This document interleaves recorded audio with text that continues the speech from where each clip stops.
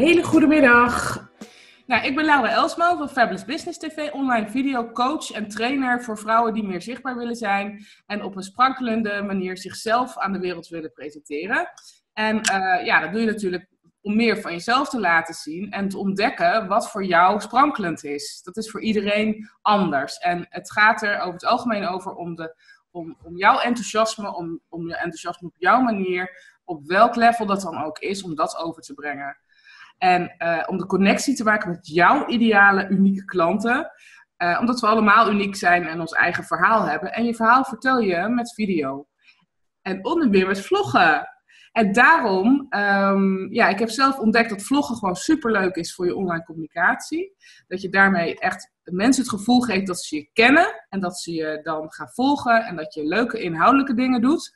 Maar ook dat je gewoon uh, snapt waarom je die dingen doet en, en dat je het op een leuke manier doet die bij jou passen, mogelijk. En dan ga je mensen toch wat intensiever volgen en dan valt het je toch wat meer op. Dus uh, dat maakt vloggen uh, hartstikke interessant. En ik vind het leuk om vrouwen dat te leren. En ik bewonder vrouwen die al lekker aan de gang zijn daarmee. En uh, dus heb ik Sascha Schefferly uit, uh, uitverkoren om even in gesprek te gaan met haar. Um, ja, Sascha. Vertel eens eventjes wie jij bent en uh, wat jij doet met jouw bedrijf, met jouw mooie bedrijf. Ja, ik ben Sascha van de Geluksproeverij. En met de Geluksproeverij wat ik doe is eigenlijk vrouwen puur zichzelf laten zijn. Op, en van het pure geluk proberen daar dichtbij te komen. Geluk is natuurlijk iets wat gaat in uh, ups en downs. Dat kan niet altijd uh, positief en leuk en happy zijn. Maar het is wel fijn om dicht bij jezelf te komen. En te zijn en erachter te komen. Wat heb ik nou nodig om uh, op mijn best te zijn. Dus ik hoor jou sprankelen zeggen en bij mij is dan ook het, het pure stralen inderdaad. Daar, ik kan me heel erg vinden in wat jij, wat jij daarin zegt. Ik had als ingang um, voeding. Ik ben begonnen met het uh, foodvloggen. Dus de meeste filmpjes die je van mij online ziet, die zijn dan ook uh, vanuit de keuken um, heel down to earth eigenlijk ingezet. Dus geen, er zit geen gelikt tintje nog op. Zover was ik niet. Ik was echt van nou see, you see what you get, zeg maar. En we gaan het doen met hands-on recepten. Stap voor stap, snel, simpel, gezond. Dat was eigenlijk wat ik wilde. En ik heb nu... Um, ik, ik, werk holistisch. Dus dat wil zeggen dat je eigenlijk... De som is meer dan... Uh, uh, het is meer dan de som der delen. Het geheel is meer dan de som der delen. Dus als jij een probleem hebt, dan kan dat, kunnen we het oplossen met voeding. Maar het kan nog zoveel meer zijn. Het kan niet zijn dat ik zeg... Oh, als je alleen maar sportschool gaat, oh, dan ben je van al je problemen verlost. Als je nu dit recept eet, dan is het helemaal oké. Okay. Nee, het is veel, veel meer. Ja. Dus ik doe vooral persoonlijke ontwikkeling en groei, zodat vrouwen zich uh, empowered voelen. Precies, ja. En, um, want waarom wilde jij gaan vloggen? Wat had je ervan verwacht? Fijne vragen. Um, ik was begonnen met M-pop. Uh, dat is een opleiding van Simone Leven, mijn prachtige online programma. Daar leer je een programma maken. En daar ben ik eigenlijk uitgedaagd tot het maken van video's. Ik vond het doodeng. Ik begreep wel dat de bedoeling was om daarin meer zichtbaarheid te krijgen en om daarin uh, zelfs ideale klanten te mogen bereiken. Um, dus dat is, uh, dat, ik hoopte daarin dus ook echt dat te kunnen bereiken om je ideale klanten te bereiken en ook om ze dus via vlogjes naar jouw online trainingen te krijgen. Absoluut. Ja, ja dat was absoluut de bedoeling. Ja. Ik moest gevonden worden.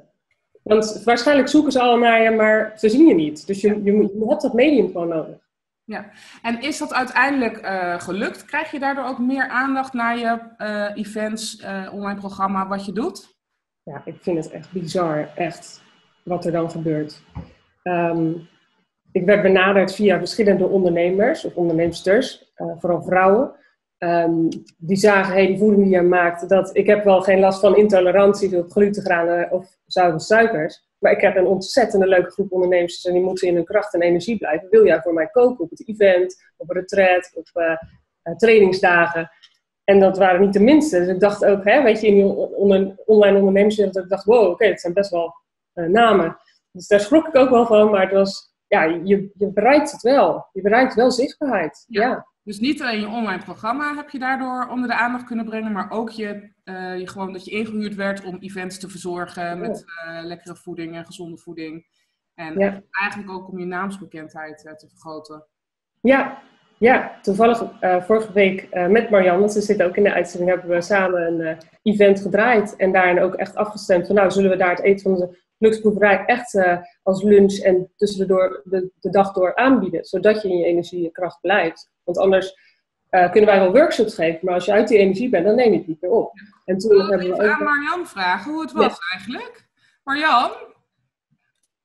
Wacht even. Marjan, ben je daar? Ja, volgens mij doet hij het toch? dat is echt zo leuk, dan kan ik jou ook wat vragen. Tof, hè? Ja, want kende jij uh, Sascha al? Ja, um, Sascha en ik zijn in het begin van Mpop 5 buddies geworden. Ja. En uh, we werden naar elkaar toegetrokken. En uh, ja, dat is gewoon een waanzinnig gaaf contact wat we hebben. En we hebben aanvankelijk eerst gebuddied. En uh, dat doen we nog. En op een gegeven moment is. Um, um, uh, ik heb op een gegeven moment mijn droom uitgesproken van. Ik zou zo graag een event willen organiseren. Ja. En um, in eerste instantie dacht ik dus dat Sascha inderdaad vooral met eten ook bezig was. Maar toen ik haar beter leerde kennen. Toen bleek dat zij ook juist zo heel erg met die persoonlijke ontwikkeling bezig was voor mensen. En dat ze daar zoveel kennis en ervaring in heeft. Maar jij bent eigenlijk de aangewezen persoon om te kunnen, die heeft aanschouwd hoe Sascha ook de afgelopen tijd is gegroeid. Ja, ja. En heb je ook gemerkt dat door het vloggen en filmpjes maken en het zichzelf zichtbaar maken, dat ze daardoor ook persoonlijk is gegroeid? Um, ja, omdat ze um, steeds meer, meer is gaan vertellen over um, wat ze eigenlijk allemaal in huis heeft. En wat ze aan, aan, aan klanten kan bieden. En wat voor meerwaarde zij heeft Um, voor mensen die dus uh, in hun kracht willen staan en die in alle facetten goed voor zichzelf willen zorgen en willen stralen. Ja. ja. Nou, dankjewel Marjan. Terug naar Sascha. Yes. hey Sascha, leuk om te horen. Hè? Ik bedoel, dat, ja. Weet je, wat heeft vloggen nu voor jou precies opgeleverd? Dat je daarmee aan de slag bent gegaan aan het werken, aan je zichtbaarheid en jezelf uh, zo aan de wereld presenteren? Heeft ja, zelf, zelfinzicht gegeven? Zelf, zelfinzicht, zelfvertrouwen ook, hè? Ja, ik denk dat die wilde ik eigenlijk als eerste. Ik dacht zelfvertrouwen, dat is hem echt. Je hebt je vertrouwen al over dat wat je doet en dan moet je ermee naar buiten. Ja. En eh, je kan erover schrijven en dat is een manier, maar echt je gezicht erbij en de, de angst van, oh oh, straks vinden ze me niet leuk. Of zeg ik dingen die, die, die eigenlijk een beetje zijn het onjuistheden volgens mensen. Hoe ga ik daarmee om? En die negatieve kritiek, ja. dat heeft ontzettend veel zelfinzicht en zelfvertrouwen opgeleverd. Ja, want in het begin, weet je nog dat je eerste vlogje of filmpje maakte waarmee je naar buiten ging? Hoe, hoe was dat voor jou? Ik vond het doodeng. Ik dacht, wat zullen ze van me vinden? Straks vertel ik onjuistheden. Straks kunnen ze me totaal niet volgen of niet begrijpen. En um, ik was zo in, ik moet het goed doen, dat ik het helemaal heb uitgeschreven en dat op die manier wilde overbrengen. Daardoor ontstaan er, staat er een soort gemaaktheid in dat beeld um, ga je heel erg uitweiden als je niet meer weet wat je ook weer moet zeggen. En dat gebeurde dan zo. Ja. mensen die dachten echt, nou, ik herken me echt niet in jouw verhaal. Ja. Uh, en dan komt wat jij zegt zelf inzicht. Dan, dan mag je, je kan of bij de pakken neergezet en denken, oh, ik heb het echt zo verziekt. En natuurlijk denk je dat even.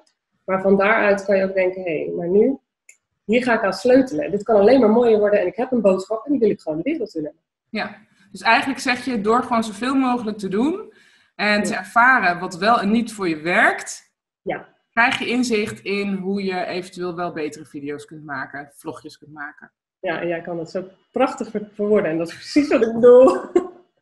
ja. mooi. Ja, hey, en wat nou als, uh, wat zou je willen zeggen? Want ik vlog ook wel. En uh, er zijn ook steeds meer mensen die het doen. Maar um, hoe hou je het leuk? Door puur je, bij, heel dicht bij jezelf te, te, blijven. Bij jezelf en bij je gevoel. Wat ik doe is dus een, een paar puntjes van waar wil ik het over hebben. Net voordat ik uh, live ga. Dat ik even denk, wat ga ik ze vertellen? En als het... Juist. Ja, even 1, 2, 3 of 1, 2. Um, want een, dat is voor mij, hè, werkt dat. Het werkt niet om een heel script te hebben voor mij. Um, de tijd in de gaten te houden, maar vooral puur vanuit je gevoel heel dicht bij jezelf te blijven. Ook al vindt een ander dat, en nu zit ik toevallig in de make-up, maar dat ik dat een keer niet ben, dat, dat, dat het heel slecht is, als, als dat op dat moment heel erg klopt bij mijn gevoel, Ehm, en ik voel me rot als ik, omdat ik zo'n drempel, omdat ik nog heel die make-up in moet of zo. Ehm, dan, gaat het niet, dan gaat het niet echt overkomen. En volgens mij gaat het daarom. Dat je doet wat je heel erg leuk vindt, op jouw manier. En dat je het laat stromen. Ja, ja, absoluut. Ik zie dat Nancy kijkt. Wat leuk. Nancy, je was net ook bij ons uh, webinar. Even kijken of ik jou kan horen. Hallo Nancy, ben je daar? Ja, ik ben er. Oh, wat leuk. Leuk dat je erbij bent. we kennen elkaar uh, van het event van Monique Dekker inderdaad. En uh, superleuk.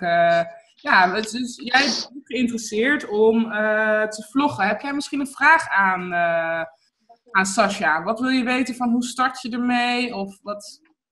Mag ik zo reageren? Ja, denk er eventjes okay, over na. Dan ja. komen we zo bij je terug. En ook voor jou Marjan, als jij nog een vraag hebt of Mirjam zegt van, hé, hey, ik wil nog eventjes iets weten. We zitten nu op uh, 20 minuten, dus ik wil hem wel zo binnen een paar minuutjes even afsluiten. Maar uh, ja, het lijkt me leuk om jullie nog even de kans te geven om even wat te vragen over vloggen en, en hoe je dan... Dus als je... Ik kan jullie dus zien, dus je kan je hand opsteken en dan... Ik zie... Marjan, vertel.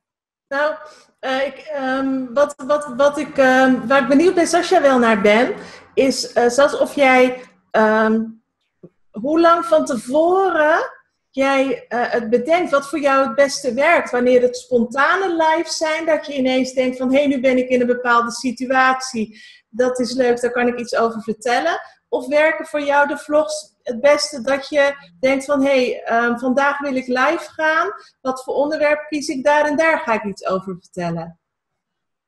Um, het is de eerste bij mij. Het komt echt uh, vanuit de, de, de, stroming en het gevoel van, oh, nou, nou loop ik tegen iets aan, dit moet ik delen. Dit is zo waardevol. En dat, hoeft, dat, dat blijft dat stemmetje, is dit uh, op juistheden gebaseerd? En wat nou als ze dit echt super stom vinden en het past niet? Maar je komt soms, hè, misschien herken je dat wel, je loopt dan ergens en je komt dan dingen tegen en dan denk je, ja, maar dit, dit is boeiend. En dan ga je dan in de haast aan voorbij. En ik denk dat ik mezelf heel erg heb getraind op, om juist bij die dingen even stil te gaan staan en dat te delen met het publiek. Ja. Maar doe dan niet echt over voeding te gaan, maar het kan ook de dingetjes eromheen. Juist, juist, absoluut. Het heeft zoveel met elkaar, uh, het is zoveel meer dan inderdaad alleen in dit geval de voeding of uh, ja. Ja. ja, want er zijn natuurlijk allemaal mensen en leven in een maatschappij die vrij snel gaat. Nou, dat, dat, uh, dat vraagt dat we in ieder geval kunnen communiceren met elkaar daarover. Hoe sta jij er nou in de zaak? Ja, maar je pakt dan wel van die dingen uh, waar je ook spontaan tegen aanloopt. Daar maak je ook een soort spreekthema van. Absoluut, ja, dat is hem. Ja. Maar uh, uiteindelijk gaat het er denk ik dan om dat je het gewoon doet. En als dit jouw manier is, voor, dan, dan, dan ga daar inderdaad lekker mee door. En dat zou ook mijn tip zijn aan andere vloggers die willen proberen uh, te starten daarmee. En van wanneer ga ik vloggen en waar gaat het dan over? En dat je het gewoon spontaan kan laten komen.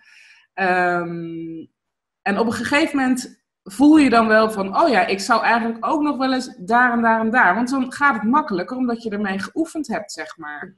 En zo ben ik ook begonnen met vlogjes maken over wat ik gewoon tegenkwam in mijn leven. En daarna ging ik veel bewuster nog uh, vloggen. Toen ging ik ook afspraken maken met andere vrouwen om uh, ze te interviewen bijvoorbeeld. Om daar een vlogje over te maken. Om gewoon veel doelgerichter ook vragen beantwoord te krijgen. Oh, wow. Ja, mooi. Dus dat, uh, ja, iedereen doet het op zijn eigen manier. Er is niet één vast recept of zo. Het is wat voor jou werkt, waar jij blij van wordt, waardoor jij jouw sprankeling kan overbrengen. Het zit niet in de make-up, hè, dames? Nee, maar als je van make-up blij wordt en je zegt van, hé, hey, ik zie er beter uit.